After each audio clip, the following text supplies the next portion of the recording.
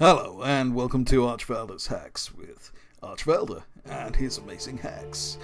Now, in this video, I'm going to present a visually spectacular series of exploits. And first, you'll need the World Quest Ley Race active in Suramar for this to work.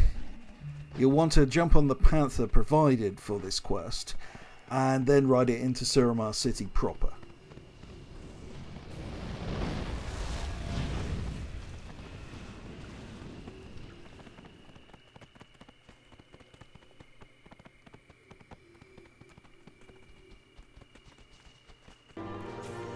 And once there, you'll want to seek out a teleporter, any teleporter, and once you've found it, you'll want to dismount from the Panther, which is a little awkward because the Panther never stops moving. And here we go. Dismount. And you'll be sent back to the start of the world class location, the Ley Race location. And then this happens.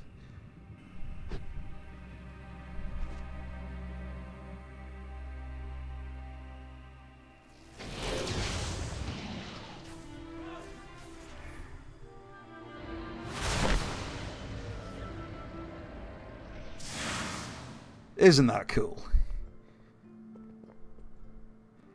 Now, there's another glitch you can use with a teleporter, which requires you to use the program lag7 or other lag generating program such as NetLimiter. Enter the teleporter and go offline. If you're using lag7, set it for around 12 seconds. Any more than 12 seconds, you may disconnect altogether and the program may crash any less, uh, then you may return to online states, which is not what you want here. You'll find you remain as a ball of energy and you can fly at run speed anywhere in Suramar or even beyond. Though, because you're limited to run speed, it'll take you uh, a certain amount of time to get outside the area. I've been to dial around with it. This glitch works in offline state, so you won't be able to interact with NPCs normally but you do get some ac- you do get access to some incredible, absolutely incredible views of Suramar, which currently there is no way to view from above in the game itself. So there's the hack. Hope you have as much fun with these tricks as I did. To avoid missing out on cool stuff like this in future, why not subscribe? And thank you for watching. This has been Archvaldor.